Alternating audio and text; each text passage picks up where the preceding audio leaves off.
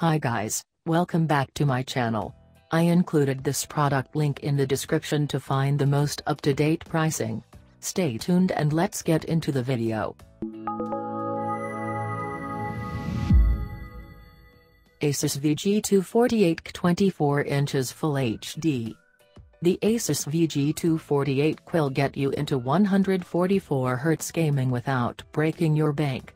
The monitor offers everything that you would need in a monitor, including 144Hz and great inputs. Asus has a history of making quality screens and this one is no different. It is featured on our homepage article as well, simply because it is so good. As of writing this article, every other feature that a monitor is nice and awesome. But if you are going for a speedy display then it is just icing on the cake. This monitor is not for the people that want the best uncompromising screen. This is for people who know what they want and are willing to make sacrifices to get it. The TN panel gives you horrific viewing angles. When looking at the screen from anywhere but straight on you will get discoloration and in some cases, you won't even be able to make out what is on the screen. If you are gaming then this won't be an issue. Seeing as you sit in front of your screen, but if you want to play with friends then you may need to look at getting an IPS screen or they will not be seeing the same things that you are seeing. Their whole image will be different, literally.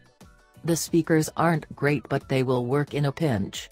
I would rather want that monitor makers would stop adding speakers to their screens and just drop prices. I am going to use my own speakers anyways. I have yet to find a screen that has good enough speakers to warrant not spending $20 on a better sound system. For most screens, just about any standalone speakers are better than what they offer.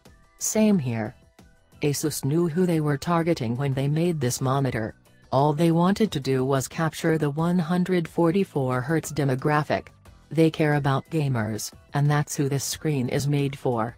If you can spend the money then you should look at some of the other monitors in this guide, but if you're looking for the best budget 144Hz monitor, look no further.